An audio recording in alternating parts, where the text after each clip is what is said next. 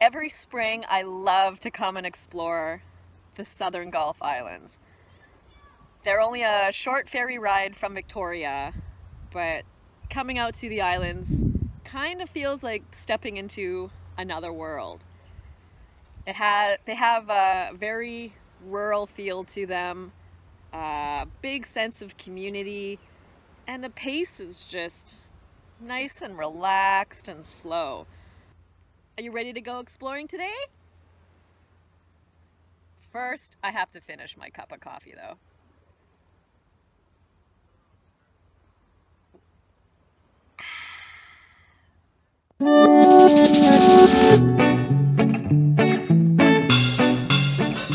The Southern Gulf Islands are located between Vancouver Island and the mainland coast of BC. They consist of hundreds of small islets and islands, with ferry service to five of the most populated islands, including Pender.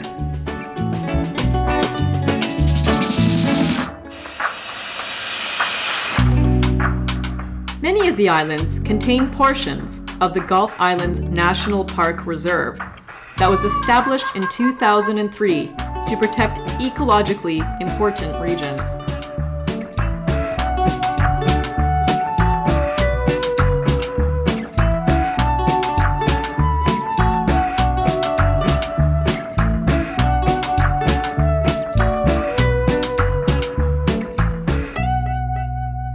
Kayaking is one of the best ways to explore the abundance of marine life found living along the island's coastlines.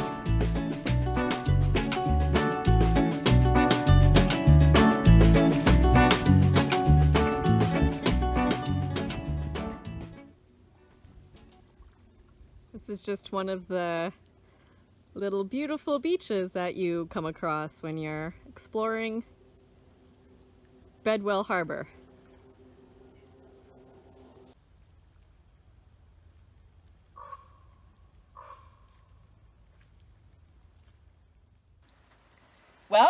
It's adventure time again. And this time I am on Salt Spring Island, which is the largest of the Southern Gulf Islands. So that means there's plenty of things to do.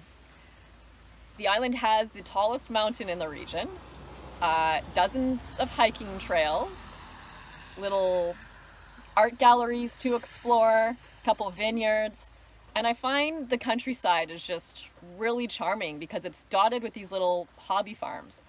And of course, there's plenty of deer.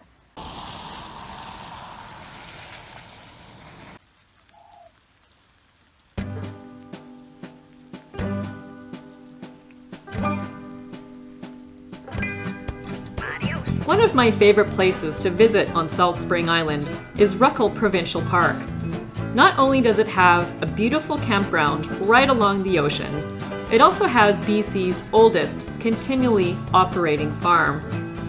The Ruckle family began farming here in the 1870s and still have turkeys, sheep, and cows strolling around the property.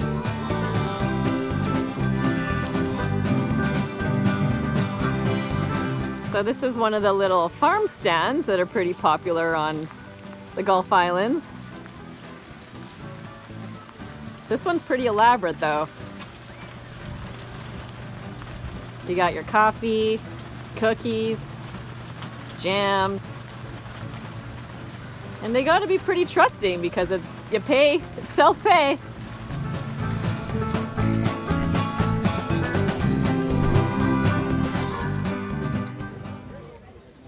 So a visit to Salt Spring Island would not be complete without checking out the Saturday Farmers Market.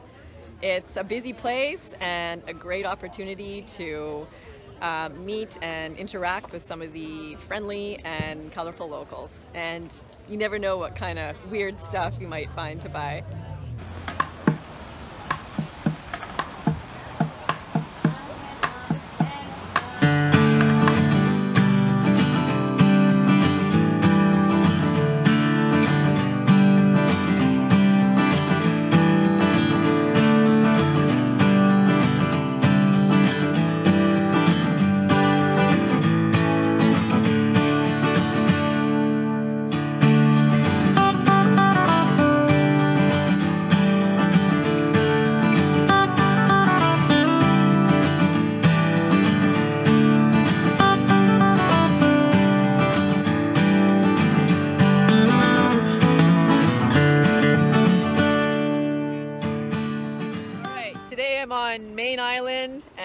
With my lovely mom and dad who've, who've joined me for an adventure.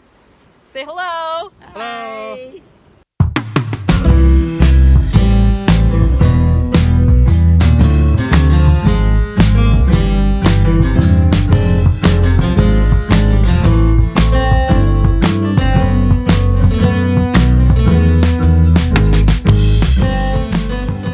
Sandstone beaches, arbutus trees, and Garry Oak ecosystems are common in the Gulf Islands.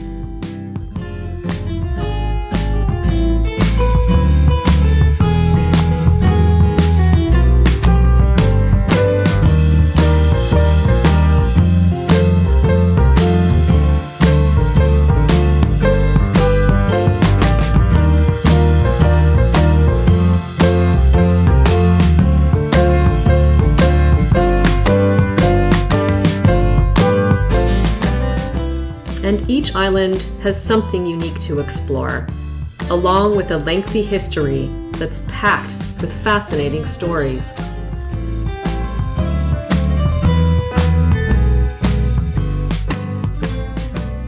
A trip to the Gulf Islands for a day or overnight getaway always leaves me feeling relaxed and rejuvenated. The toughest decision is where do I go next?